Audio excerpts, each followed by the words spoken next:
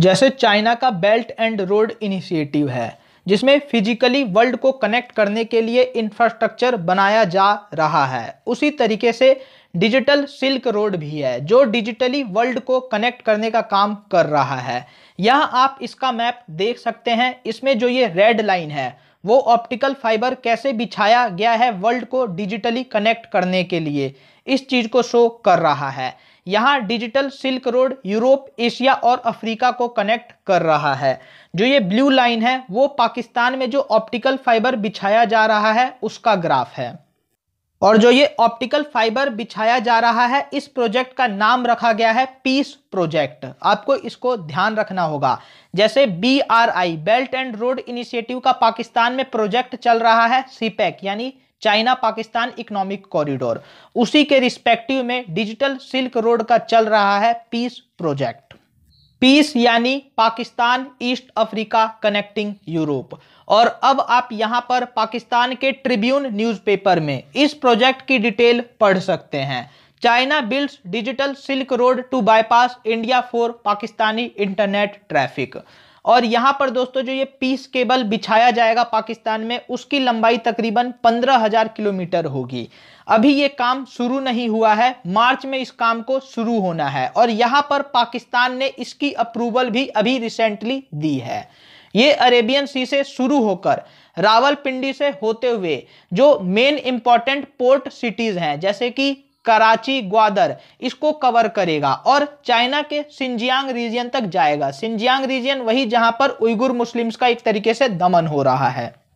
दोस्तों, चाइना ने digital silk road initiative 2015 में शुरू किया था और यहाँ पर ये चाइना की एक अलग ही डेट ट्रैप स्ट्रेटजी है। जैसे ओबीओआर एक डेट ट्रैप स्ट्रेटजी है, उसी तरीके से ये भी एक डेट ट्रैप स्ट्रेटजी है। यहाँ पर चाइना इस इनिशिएटिव के अंडर में कहता है कि हम, जो कंट्रीज़ हैं, उनको इस तरीके की असिस्टेंस प्रोवाइड कराना चाहते हैं। हम उनकी हेल्प करना चाहते हैं टेली कम्युनिकेशन नेटवर्क्स इस्टेब्लिश करने में आर्टिफिशियल इंटेलिजेंस कैपेबिलिटीज को डेवलप करने में क्लाउड कंप्यूटिंग को प्रमोट करने में ई कॉमर्स को प्रमोट करने में मोबाइल पेमेंट सिस्टम बनाने में, ताकि डिफरेंट कंट्रीज़ एक जगह इकट्ठी होकर हो करके एक तरीके से डिजिटल पेमेंट ट्रांजैक्शन कर सके। इसके अलावा सर्वाइलेंस टेक्नोलॉजी डेवलप करने में और स्मार्ट सिटीज़ को बनाने में। लेकिन दोस्तों, यहाँ पर देखिए डेट ट्रैप स्ट्रेटजी में इन कंट्रीज़ को फंसाने के अलावा यहाँ पर चाइना का एक काफ़ी इंपॉर्टेंट स्ट्रेटेजिक इंटरेस्ट है और वो है जासूसी करना अपने स्टेक होल्डर्स पर। और दोस्तों, फिर चाइना उसी डाटा का यूज़ करेगा उस कंट्री के खिलाफ या अपने पर्सनल इंटरेस्ट के लिए। और यहाँ पर पर्सनल इंटरेस्ट को फुलफिल करने में वो किसी कंट्री के राइट्स क्या हैं? उसको भी ध्यान नहीं रखेगा।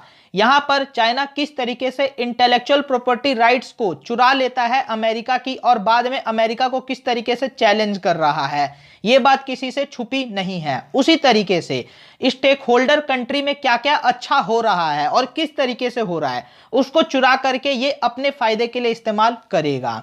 यहाँ पर चाइना काफ़ी सक्सेसफुल रहा है इस प्रोजेक्ट को लेकर के। Digital silk road related investment अब तक 16 कंट्रीज़ में होने वाली है और इसके एग्रीमेंट साइन हो चुके हैं। और ये कंट्रीज़ दोस्तों Africa, Europe, middle east, Latin America और इवन एशिया तक में है। अब देखना यह है कि जो डेप ट्रैप स्ट्रेटजी है चाइना की, उसमें ऑलरेडी काफ़ी सारी कंट्रीज़ फंस चुकी है और अपना काफ़ी कुछ गवा चुकी हैं। और यहाँ पर फिर भी वो क्या स्टेप लेती हैं इस इंपॉर्टेंट प्रोजेक्ट को लेकर के। फ़िलहाल अगर मैं बात करूँ पाकिस्तान की तो पाकिस्तान ने तो इसके लिए अप्रूवल दे ही दिया है। और ये अप्रूवल जब दिया है, जब ये ऑलरेडी पाकिस्तान डिक्लेयर कर चुका है कि उसके पास सीपेक लोन की पेमेंट करने के लिए पैसा नहीं है। यानी एक लोन की पेमेंट करने के लिए पैसा है नहीं और दूसरा लोन लेने के लिए यहाँ पर पाकिस्तान तैयार है।